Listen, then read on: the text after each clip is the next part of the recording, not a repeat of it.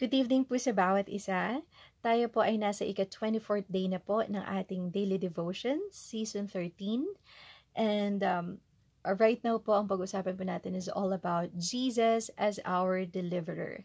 Tayo pong lahat ay yumuko at tayo po'y manalangin. Panginoong Diyos, maraming maraming salamat po sa oras po na to, Lord God. Tinataas po namin kayo, sinasamba, pinupupurihan, dinadakila, Ama. Kami po'y lumalapit, nagpapakumbaba at humingi ng kapatawaran, Lord, sa mga kasalanang nagawa po namin. Maliit man po o malaki, intentional man po o hindi, Lord God. Gawin niyo po kaming karapat dapat sa inyong harapan naman. Lord, we thank you so much for this time, Lord God, na ipinagkaloob mo po sa amin upang mapag-aralan muli yung salita mo, Ama. And Lord, we thank you so much for delivering us, Lord God, through this year, Panginoon. We thank you so much for breathing new hope and new Use strength, Panginoong Diyos, every day, Lord God. Thank you so much for, providing our needs. Thank you so much for for always walking with us, O God, for always being with us, Panginoong Diyos, in every battle that we face, Ama. And Lord, as we study your word, we pray that continue to speak to us, O God, and tumanim po itong mga salita mo sa pinakamatabang bahagi po ng aming puso, Panginoong Diyos. At patuloy na ikaw ang maitaas, madakila, Lord God. Speak through me. Sa inyo po namin ibinabalik ang pinakamataas na papuri, pasasalamat at pagsamba sa tangi at makapangyarihang pangalan ng inyong dakilang anak na si Jesus. Amen and Amen. Ayan po. So, ngayong oras po na to, we're going to talk about Jesus as our deliverer. In chapter 18 po ng, ng sa book of Psalms po, chapter 18 verses 1 to 6, ang sabi po ni King David dito, I will love you, O Lord, my strength. The Lord is my rock and my fortress and my deliverer my God, my strength, in whom I will trust, my shield and the horn of my salvation, my stronghold. I will call upon the Lord who is worthy to be praised, so shall I be saved from my enemies.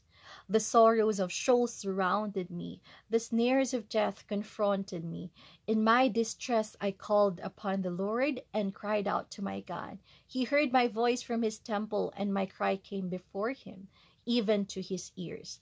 Talon po tayo sa verses 17 to 19. Ang sabi po dito, He delivered me from my strong enemy, from those who hated me, for they were too strong for me.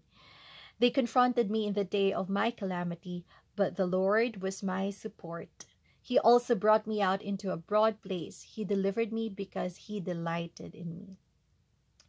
Ngayon po, as we can see in chapter 18 po, ng Psalms, makikita po natin dito si King David. He keeps praising God. He keeps um, declaring how great God is to his life. He keeps saying that God delivered him.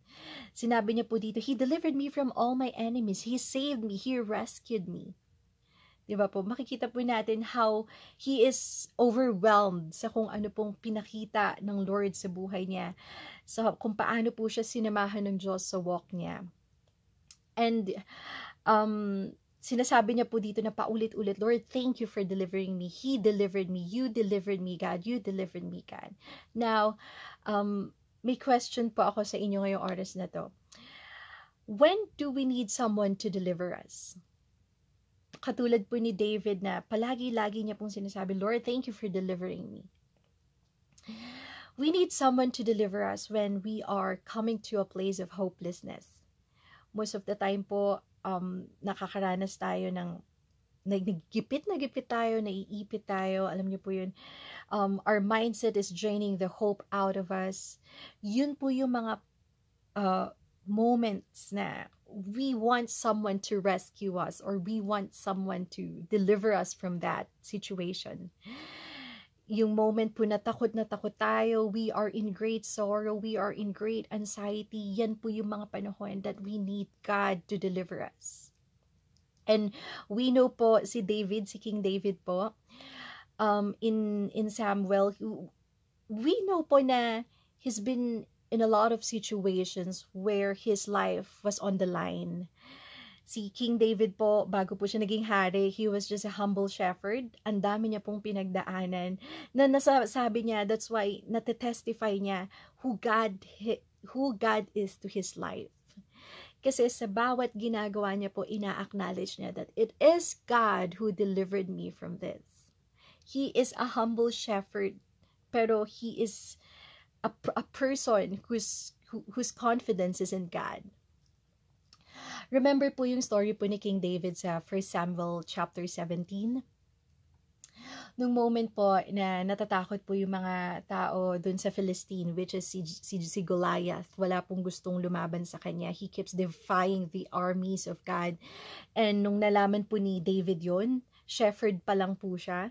Alam niyo po yun, nag-aalaga po siya ng mga uh, lampo ng, ng kanyang ama at siya po ay tumitirador, siya po ang nagpo-protekta sa mga sheep na yon. Siya po ang nag um, tumitirador sa mga even the lions, even the bears, 'di ba po? Slingshot lang po ang gamit niya.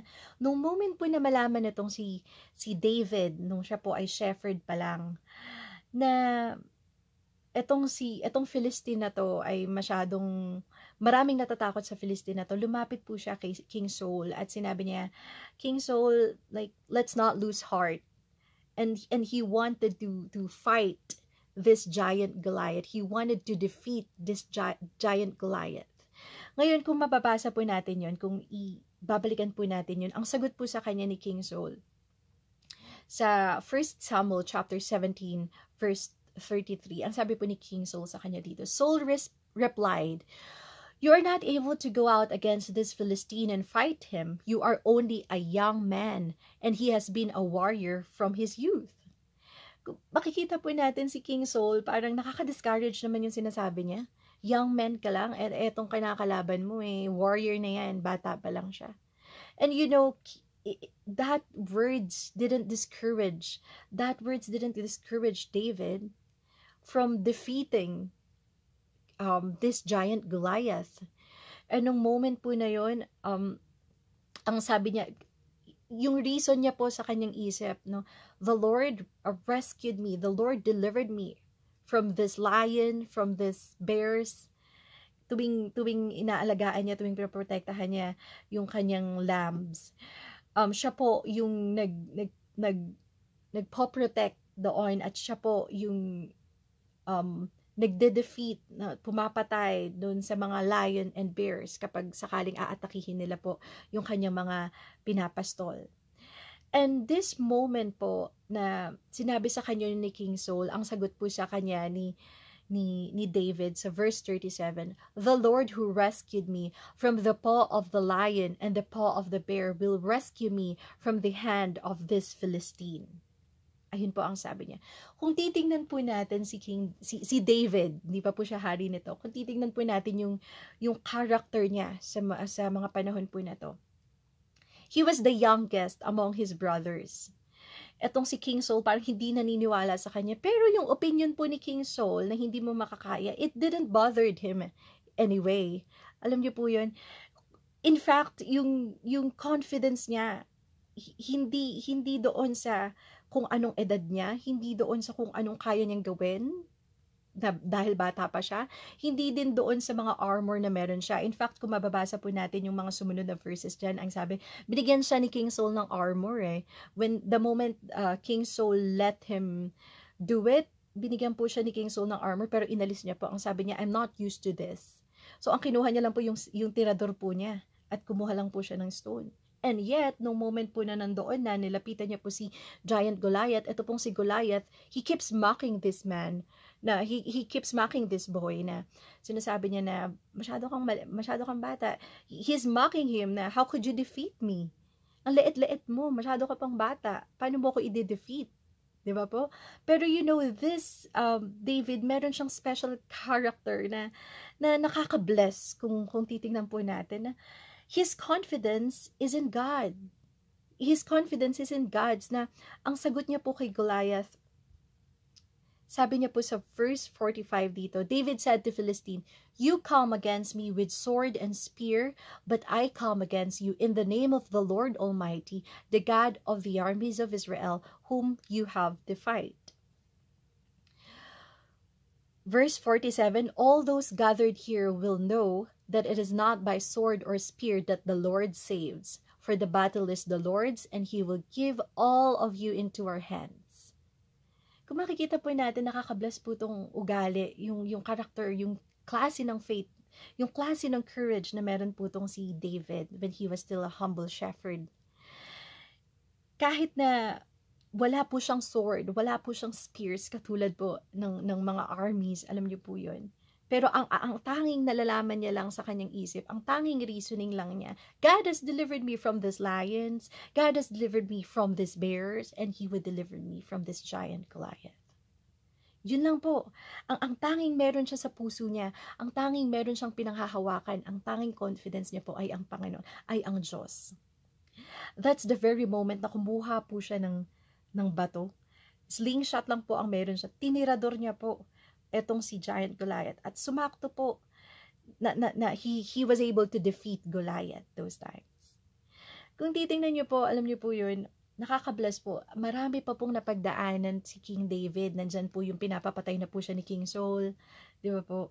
Pero, balikan po natin na ang sabi po niya sa verse 17, He delivered me from my strong enemies, from those who hated me, for they were too strong for me. He knows, He knows na hindi niya kayang kalabanin yung, yung mga taong yun. Hindi niya kayang kalabanin yung mga taong gustong pumatay sa kanya. He knows that. Pero, ang lagi niyang reasoning sa isip niya, ang Lord, ang dami ng pinatunayan sa akin. He delivered me from a lot of things. And right now, He would deliver me again. He would deliver me again from all these things. Di ba po? And most of us po, I know, it, it's it's really, alam niyo po, as I study these um, words of God, um, I'm really, really amazed on how God delivers His people. It never gets old po eh. Kung makikita po natin, itong story po na to, common na po ito actually sa mga books nga po sa schools. Pinag-aaralan din po ang story ni David and Goliath na parang, oh, it's a typical story. But it's not actually a typical story kasi, alam niyo po yun, it never gets old. There's really power in the words of the Lord. The words of the Lord stands forever. At nakakatuwa, alam niyo po, as I study these words once again, parang, uh, yung yung nabubuhayan po ako personally, yung yung aking yung yung loob ko po ay alam niyo po yung kalakasan po talaga natin ng salita ng Diyos and it's so good to understand. It's it's just so amazing to understand that it, it is not by the resources that we have that that we would be saved. Alam niyo po 'yun.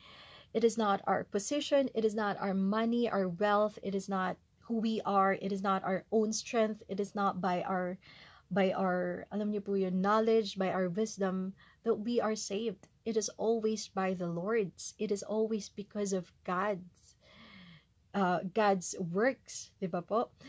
And eto pong moment na to, makikita po natin na sinasabi po dito ni ni King David or ni David nung siya po ay shepherd pa lang na it's not It's not the sword, it's not the spear that would save us from this Philistine.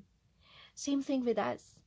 Hindi po yung kung ano yung meron tayo ngayon ang magliligtas po sa atin, kundi ang Panginoon lang.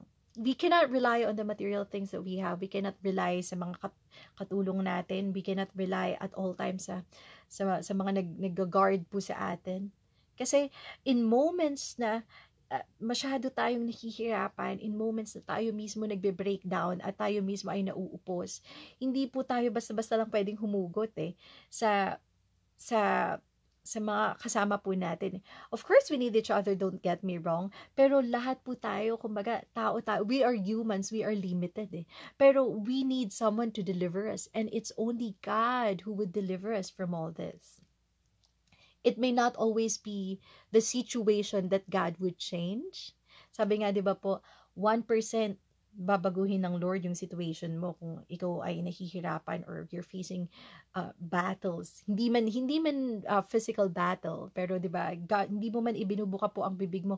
The battle is sometimes inside you, 'di ba? Na God knows your battles. God knows kung ano po yung mga kinakaharap natin. Sinasabi mo man o hindi mo sinasabi. God knows it. And sabi nga, 'di ba, hindi man po baguhin ng Lord ang situation mo. 1% lang po yan, miracle na kung baguhin ng Panginoon yung situation mo when you're facing difficulty. 1%, God would change your situation. And 99%, God would change us. God would give us a new hope. God would give us a new strength. God would expand expand us. God would give us a new faith. Alam niyo po yun uh, to face that battle. God would change our, our perspectives. God would change our mindsets to deal with the difficulty that we're facing. Minsan isipin po natin, God is not delivering me kasi hindi naman binabago ng Lord yung situation. Eh, situation ko. Every day I am praying for it pero ang Lord hindi niya binabago.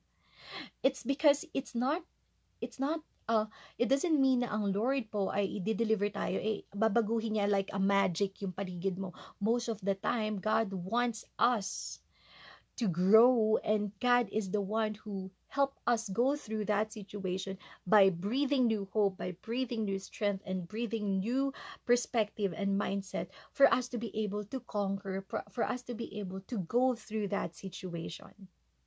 'Di ba po? And hindi lang po, hindi lang po actually si King David yung makikita natin na story sa Bible na talagang dineliver ng Lord. Remember po si uh, Shadrach, Meshach, and Abednego nung moment po na pinatapon po sila ni King uh, Nebuchadnezzar sa fiery furnace dahil they didn't bow down doon po sa idol na ginawa nila tinapon po sila doon sa apoy, pero ni buhok po nila, hindi po nasunog. Why? Because they remained faithful to the Lord. Because um, they believed in God and God delivered them from that. Sino pa po? Si Daniel. Remember Daniel po, nung pinatapon naman po siya sa lion's den because he keeps praying to God. Di ba po?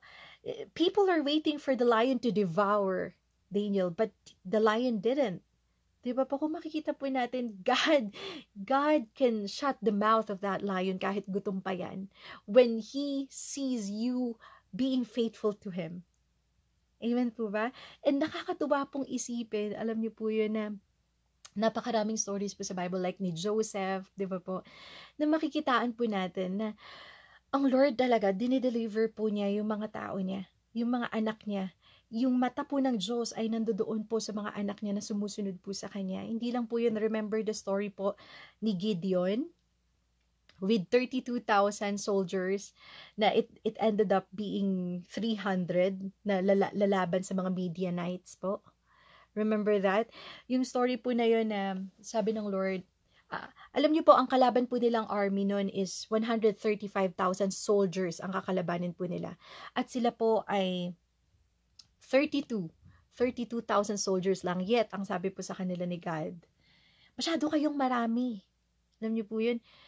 Um, um, bawasan nyo. Bawasan nyo yung, yung army nyo. Like, sabihin mo sa kanila, sinabi niya po kay Gideon, sabihin mo sa kanila, lahat ng natatakot umalis. And so, nabawasan po sila ng 10,000. Ang natira po sa kanila, 22,000. From 32,000 po, lahat ng natatakot makisali sa, sa sa sa laban po na yon ay umalis. So, naging, from 32,000, naging 22,000 po. From 22,000, naging 10,000 po. From 10,000 po, naging 300 soldiers na lang po ang lalaban against Midianites. Na, ang Midianites po ay may 135 soldier, soldiers. And guess what po? Hindi po sila lumaban gamit yung kanilang armor. Ang laban po nila ay ay ang gamit po nila ay trumpets. Ang sabi po dito, when it is about midnight, they all gather around the camp of enemy soldiers. Then at the same day, they all blow their horns and break their jars and shout, Jehovah's sword and Gideon's. When the enemy soldiers wake up, they are confused and afraid. They all begin to run and the Israelites win the battle. Kung makita niyo po dito, ang ginawa lang po nila, no, binabanggit lang, sinisigaw lang po nila, Jehovah's sword and Gideon's. Pero wala po silang ibang hawak. Yung horn lang po nila, nag, um, uh, binlow lang po nila yung horn, tapos sumisigaw lang po sila, tapos natakot po yung 135,000. Imagine, 300 lang po yun. 300 lang po sila. Pero through the help of God, God delivered them. Di ba po na, it's not, it's not the army, it's not the the the strength alam niyo po yun it's not the the armor it's not the sword it's not the spirit it's not the material things that would save you that would deliver you but the lord's. The battle is always the lord's. Sabi nga po so Romans 8 verse 31 what then shall we say in response to these things? If God is for us who can be against us? Niyo po yan. And, and I believe, alam niyo po, nabibless talaga po ako sa words na to ng Lord na I believe that the God who delivered his people long, long time ago is the same God who would deliver you, who would deliver me, who would deliver us sa kung ano man pong mga battles natin sa buhay as long as we remain faithful to Him, as long as we obey Him, as long as we have our confidence in Him. Alam niyo po yun, He would always deliver us. Naalala ko po yung song, sabi po, yung isang worship song. Napakaganda po ang sabi niya po, There is no glory, but there is no glory in my own wisdom. There is no might in my own strength. There is no power in my own riches. And I will boast in knowing you there is no power in our own reaches. There is no might in our own strength. It is really the Lord who would help us go through these things. It is always the Lord na mas marerelayan natin, madedependehan po natin. And it's so amazing to think po na no matter how think uh, uh, how how small we think we are, no matter how weak we think we are, no matter how useless we think we are, God can use us. God can deliver us. And you know, I want to share this um, verse to you po in Psalm 33 verses 16 to 22 NKJV po. Nakaka-bless po to. Ang sabi po dito, No king is saved by the multitude of an army. A mighty man is not delivered by great strength. A horse is a vain a horse is a vain hope for safety, neither shall it deliver any by its great strength. Behold, the eye of the Lord is on those who fear him, on those who hope in his mercy, to deliver their soul from death and to keep them alive in famine. Our soul waits for the Lord. He is our help and our shield.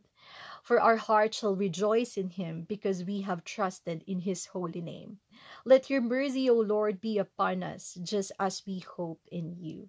Nakaka-bless po tong, tong verses po na to. Kasi like, Really, there's no king is saved by the multitude of this army kahit gaano pa kayo karami. Kahit gaano pa kayo karami, no? If God is not for you, nako, it would your own strength wouldn't deliver you. Your own knowledge wouldn't deliver you. Kasi tayo mismo nauupos tayong tao. Tayo mismo nagbe-breakdown po tayong tao. Tayo mismo natatakot po tayo. And the only hope that we have is God. Now if we we are I know um, if it's very, very applicable po sa situation po natin ngayon. I know lahat po tayo, meron po tayong dinidil in our lives. Lahat po tayo may mga battles po.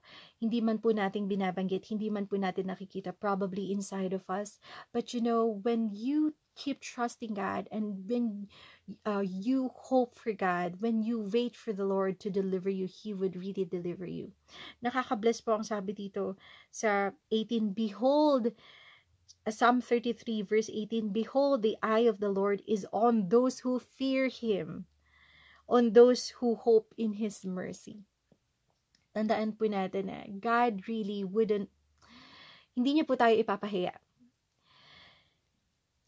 Once we trust in Him, God would really show how great He is in our lives. No matter how, how small we are, no matter how how young we are, no matter how use, useless we think we are, no matter how, alam niyo po yun, uh, how we lack resources, it is not those things that matter. It is always the Lord's. He is um the uh, the battle is always in his hands. The battle is always the Lord's. So, yun lamang po. Uh, I hope po na ngayong oras po na to, if ever po na tayo po sa mga sarili natin, meron po tayo mga kinakaharap na battles. I know, hindi po nawawala yan. Pero, you know, I just want to tell you right now, um, ang Panginoon po, He sees our hearts and He would always be there for us. Sabi nga po ng isang kanta rin po, I, I love this song. Ang sabi po dito, never once, never once did we ever walk alone. Never once did He left, He leave us on our own. Di ba po? Nakakatuwa pong isipin na ang Panginoon, hindi niya po tayo pinababayaan. God is always with us, especially kapag ikaw ay nananatili pong tapat sa Kanya. Hindi, ang Lord, hindi niya inaalis yung mga mata niya sa mga tao, sa mga anak po niya na patuloy, na nagtitiwala po sa Kanya. At lalong-lalo na pinatutunayan ng Panginoon na totoo siya. And I believe na one day, if, if we keep trusting God, we, we would also also testify like David how God delivered us. And you know, um, the fact nga po na ngayon na nakatapos po tayo ng another year, ito pong taon po na to ay isang proof that God has delivered us throughout the, this year, di ba po? Nakakatuwa na ang dami po, marami man po tayong napagdaanan, nakakalungkot, maaring nawalan po tayo, maaring may kinaharap po tayong matinding problema, pero we are celebrating Christmas and we are going to celebrate another year and that itself is a proof that God is our deliverer. And ngayong oras po na to, um, patuloy po nating isurrender sa Panginoon ang ating po mga battles kasi hindi man po naiintindihan ng tao in human um, hindi man po makokomprehend ng human ang ating po mga pinagdadaanan but God is always there and He understands. Tayo pong lahat ay yumuko at tayo po'y manalangin. Hallelujah, Lord. Salamat po. Maraming, maraming, maraming salamat po, Ama, sa mga salita mo na tunay, Lord, na nakaka-bless, na tunay, Panginoon, na nakakapuno ng pag-asa, Panginoon. Sa kada battle ng buhay namin, it is not our resources, our position, our fame, Panginoon. It's not, Lord God, yung kung anong meron kami, our own strength and our own, own minds that would deliver us, but it's only you, Panginoon. Continue, Father, to show your people how great you are in our lives, Panginoon Diyos. Continue, Father God, to move it, uh, uh, to move in our lives, Panginoon. And one day, Lord God, palagi po namin ite-testify, Panginoong Diyos, na you are so great, Lord God, that you are the God who delivered us, Panginoon. Lord, continue to um, give us new hope and strength, Lord God. Continue, Panginoong Diyos, na kayo ang patuloy na maging deliverer namin, Lord God. We put our trust in you, Lord God. We, we, we, worship you, Panginoong Diyos, dahil naniniwala po kami, Ama, na kayo ang, ang Diyos, Lord God, na palaging magre-rescue sa amin. Ang Diyos na palaging nagpapalakas ng loob namin. Ang Diyos na palaging pinaghuhugutan po namin ng kapayapaan at pag-asa. Lord, always walk with us, Panginoong Diyos, because we cannot do it, Lord God, on our own, Panginoong Diyos. We cannot do it without you, Father God. Thank you very much, Lord. Maraming maraming salamat, Lord God for your comforting words, Lord God, for your encouraging words, Father. Thank you for the, for the, for the power of your words, Father God. Thank you so much, Lord. We worship you. We glorify your name. We adore you. This is all we pray in Jesus' mighty name. Amen and amen. God bless us all po. Merry Christmas and Happy New Year po.